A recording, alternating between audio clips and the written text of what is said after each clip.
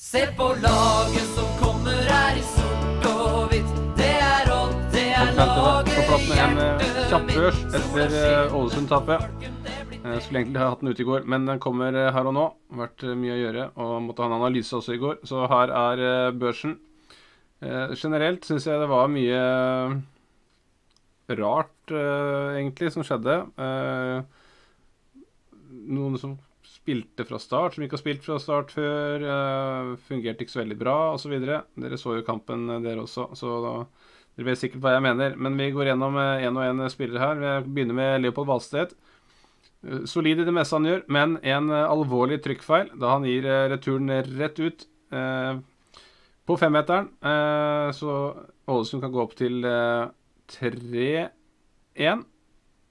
Trekk for det. Eh, Leopold Valstedt får eh, fire. Eh, på eh, høyrebekk, Espen Ruud, veteranen, savner at han står fram, eh, tar mer initiativ. Kommer seg mer til dørlinja, slår farlige innlegg. Her har vi på en måte den mest rutinerte spilleren av alle. Vis enda mer i en sånn kamp som det her mot Ålesund hjemme. Spesielt når laget trenger at de eldste tar et tak og viser vei. Espen Ruud får en firer. Eh, Odin Bjørtuft, eh, beste i forsvarsfireren, eh, soleklart i mine øyne. Ingen feil, ingen store minuser, egentlig. Vinner mange dueller, trygg med ballen.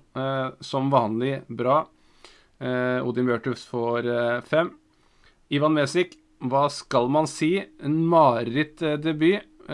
Virka treig, virka tung.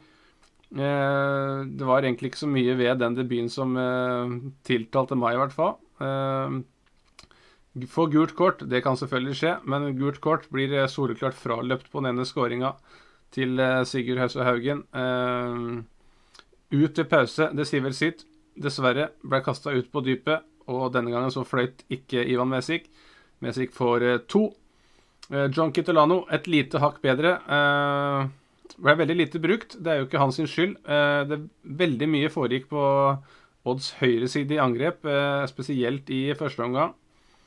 Eh, John Kitolano sto stort sett og venta på at ballen skulle bli vridd over motsatt. Det skjedde veldig lite. I tillegg så hadde han denne fæle missen da, før før Valstedt gir denne returen på den tredje skåringa til Ålesund. Eh, John Kitolano får eh, tre. På midten, eh, Solomon Owusu. Ny OK kamp. Bra når han blir flytta ned etter pause som midtstopper. Gjør jobben sin på en fin måte uansett hva han blir satt til for tida nå, Solo. Imponerende, det. Solo får i denne kampen fem. Så har det Filip Jørgensen. Også fem på Filip Jørgensen. Som vanlig mye bra. Eh, prøver å ta tak. Eh, mangler selvfølgelig kanskje litt rutine og sånn på at han eh, forsvinner litt i perioder og ikke involverer seg i hva skal vi si, de situasjoner som blir direkte avgjørende. Ikke nok, i hvert fall. Men likevel absolutt en godkjent kamp av Filip Jørgensen som vanlig. Han gjør jo stort sett gode kamper hver eneste uke, men denne gangen får Filip Jørgensen eh, fem. Og så er det Joshua Kitolano, da. Eh, kan jo alt. Kan takle, kan drible, kan eh, løpe returløp. kan skyte, kan hva som helst. Men det blir litt sporadisk. Det blir litt for lite av det. Og også her er jo faktisk den på midten her med mest rutine, Joshua Kitolano, må tørre, eller eh, prøve, å ta mer tak i kampene. Ikke bare være en del av laget her. Ta tak i midtbanen, styr eh, skuta. Det er du god nok til. Har du gjort det før? Eh, Denne gangen klarte han ikke det, mer enn bitvis. Og derfor får Joshua fire. Så var det angrepsrekka. Mikael Ingebrigtsen og Valle. Jeg kan slå de sammen, egentlig. Eh, begge to med prestasjoner under pari. Eh, Ingebrigtsen en del eh, positive ting. En, del gode involveringer. Dette, dette småspillet rundt boksen til Ålesund. For så vidt Vallem også var med på noe av det. Men eh, ingen av de klarte å eh, sette sitt preg på kampen. Komme fram til eh, de helt store gjennombrudda. Eh, det ble mye småspill, og så stopp. Ikke noe lenger. Hit og ikke lenger. Så Vallem og Ingebrigtsen får denne gangen av meg tre. Og så er det Odds beste spiller, da. Eh, ikke at eh, han nødvendigvis var så veldig god i banespillet, men hva er en spiss sin oppgave? Jo, det er å skåre mål når laget trenger han. Og når man ligger under både én og to og tre ganger, så eh, kan man ikke forlange så mye mer enn at spissen banker inn to mål og gjør sitt for at laget likevel skal komme tilbake og stjele med seg ett eller tre poeng. Det gjorde Tobias Leveritsen. Skårte to mål Eh, spesielt eh, det ene målet er eh, skikkelig goalgetter-skåring. Legger den til rette med sålen på skoen. Drar den litt foran seg, og så bare plasserer han den i lengste. Det er bang, bang, bang. Ett sekund fra mottak til avslutning. Strålende gjort av Tobias akkurat den. Tobias, to mål. Får sju. Så er det innbytterne, da. Lekven fikk én omgang for Mesik. Det hjalp litt, det. Da var det Lekven opp på den dype midtbanerollen, og så var det da Solo ned eh, i forsvarsfireren som midtstopper. Eh, likevel så var det Lekven som burde lukta denne returen på det tredje målet, når Valstedt eh, ikke klarte å slå ballen til corner. Står og sover der.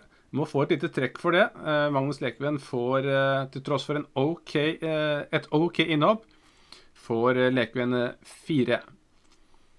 Så var det resten. Det var da Kastrati, Jevtovic og Rolandsson som kom inn da det var 27 minutter igjen, alle, alle tre. Trippelbytte. Paco er jo kjent for det. Hvis han ikke er fornøyd, så kaster han innpå det han har. Eh, Kastrati, et uh, veldig veldig bra forsøk fra distanse. Køla litt uh, utenfor lengste vinkel. Den hadde garantert gått inn. Eh, hadde kanskje fortjent å få et mål nå, Kastrati. Han han jobber og står på. Syns han også var, eh, virka tålmodig. Mer tålmodig denne gangen. Ikke så stressa og at han må prestere. Senke skuldrene litt. Så er det selvfølgelig en del eh, fotball i Flamur Kastrati. Kastrati får, eh, får innhoppet fem. Eh, Jevtovic, mye av det samme. Uh, aktiv.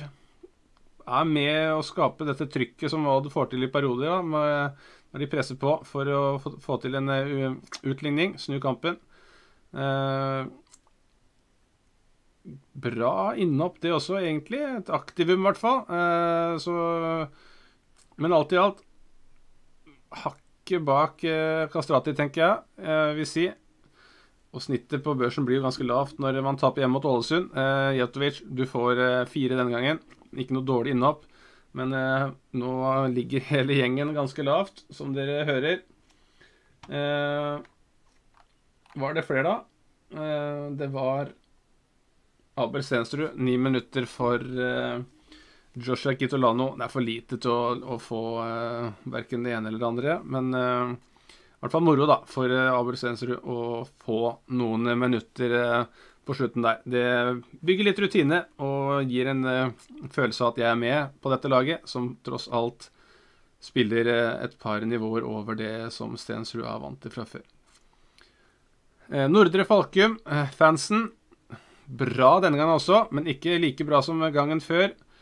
Da var det jo også flere mennesker der da, som sto og banka i vei i 90 minutter.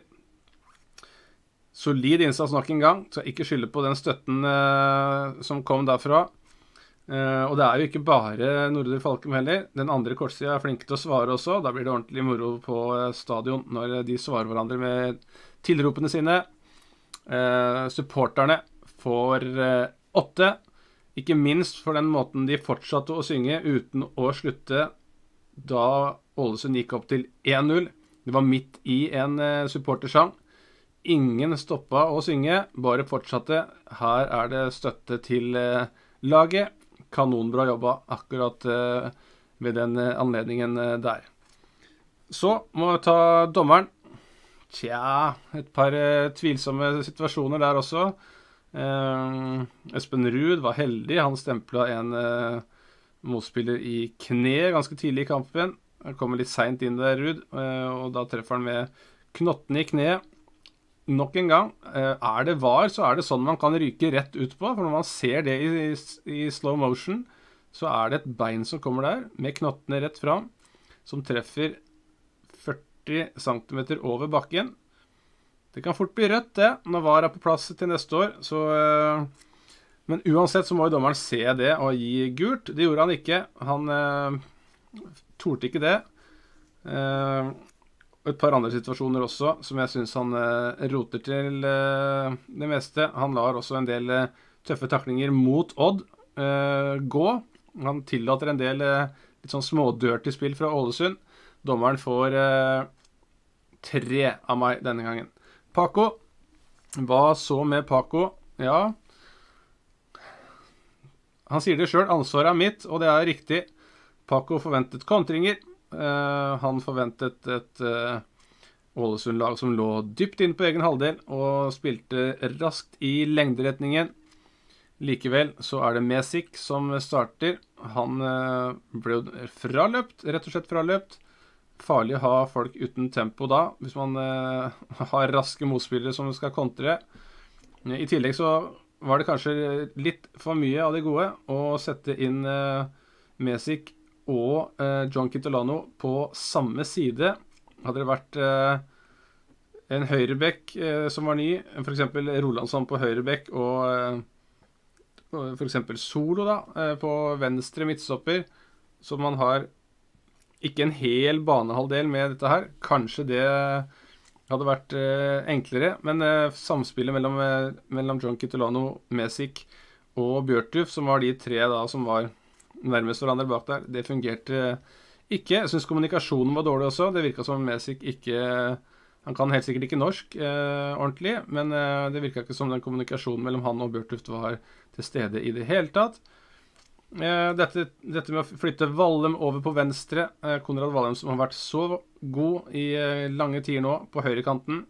Ja, vi vet det er for å få inn Ingebrigtsen eh, på høyrekanten, men Vallem presterer dårligere i hvert fall foreløpig, når han spiller venstre kant enn når han spiller høyre kant.